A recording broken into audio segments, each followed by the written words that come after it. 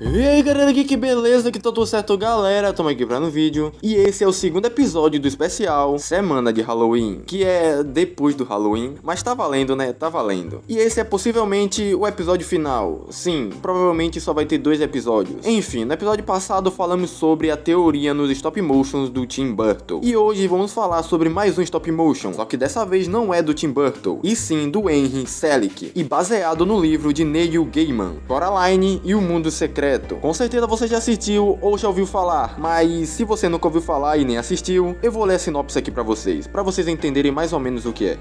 Ao se mudar para uma nova casa, Coraline se sente entediada, sem ter nada para fazer. Ela também não tem a atenção de seus pais, que trabalham muito e não tem tempo para a própria filha. Até que ao explorar essa nova casa, ela encontra uma pequena porta secreta que a leva a uma versão alternativa e melhor de sua vida. Porém, esse mundo que parece perfeito acaba se tornando perigoso demais e Caroline precisa ter coragem e esperteza para escapar e salvar sua família no mundo real.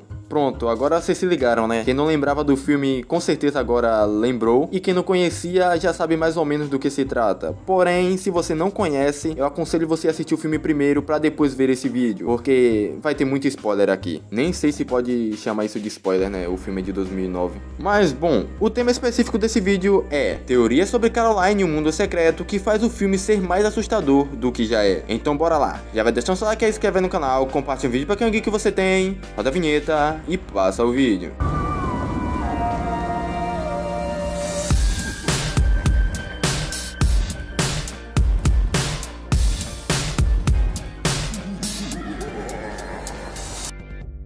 Desde que foi lançado em 2009, Coraline o Mundo Secreto acumulou uma grande quantidade de fãs que criaram e ainda criam teorias envolvendo a história do filme e seus personagens. Como eu citei lá no início, o filme teve como base o livro escrito por Neil Gaiman. Porém, os roteiristas fizeram várias mudanças nos personagens, cenário, enredo e até acrescentaram novos elementos, como por exemplo o Ribby, que é um personagem exclusivo do filme. Ele não existe no livro.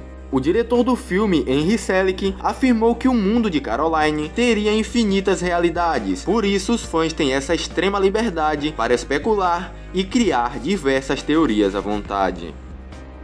Teoria 1 Miss Forcible e Miss Spink sempre souberam sobre as crianças desaparecidas. As personagens Miss Possible e Miss Spink são atrações e moradoras bastante antigas do Palácio Rosa, a nova casa de Coraline. As velhas atrizes, junto com seus vários cães, alguns vivos e outros, vocês sabem né, são em vários momentos do filme mentoras e conselheiras da jovem Coraline. Um youtuber chamado Fangirl teorizou que cada uma das datas nos potes de caramelo das personagens corresponde a um ano em que cada criança desapareceu no Palácio Rosa. Ou seja, uma desapareceu em 1921, a outra em 1936 e a última em 1960. Quando Coraline encontra as três crianças fantasmas no outro mundo, cada uma delas está vestida com um estilo de roupa diferente e cada um dos estilos corresponde a uma das datas nos potes de caramelo. E é por isso que o pote de Coraline ainda não tinha uma data, porque a Coraline ainda não tinha desaparecido. Aí quando a Coraline desaparecesse, elas iriam lá e iam colocar a data que ela desapareceu no pote de caramelo. Isso também explicaria o jeito estranho que as atrizes agem durante o filme. Não é a primeira vez que elas veem uma criança desaparecer. As duas podem não parecer ter idade suficiente para terem morado no Palácio Rosa por tanto tempo. Porém, é possível que elas envelheçam em um ritmo anormal. Talvez elas escondam mais segredos do que imaginamos. Teoria 2 A Bela Dama tinha um filho.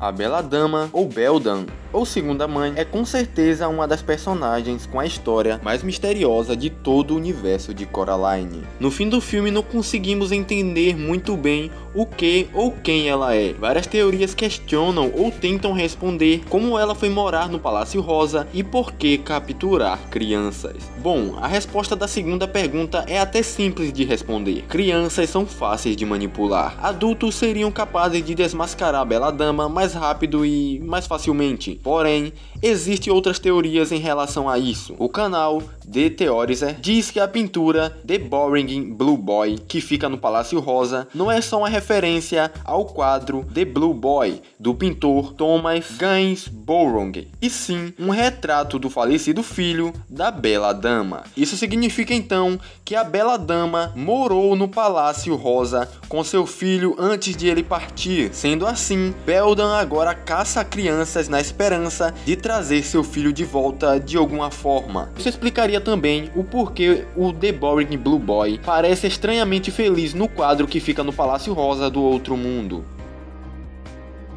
Bobinski, vizinho de Coraline, estava em Chernobyl.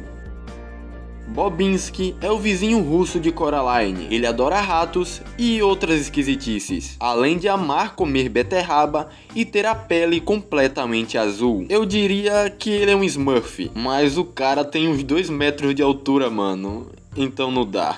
O usuário do Reddit Bonker S303 tem uma teoria para essa aparência e forma peculiar de agir do personagem. Após uma análise detalhada no Bobinski, o Bonker S303 notou que na pequena medalha usada por Bobinski contém o termo 4A3C. As medalhas que contêm esse termo foram concedidas aos indivíduos que ajudaram a lidar com as consequências do desastre de Chernobyl em 1986. Então, provavelmente enquanto estava lá em Chernobyl, ajudando a lidar com essas consequências do desastre, Bombinski foi exposto a algum tipo de radiação. Isso explicaria a sua pele azul e seu jeito peculiar de viver.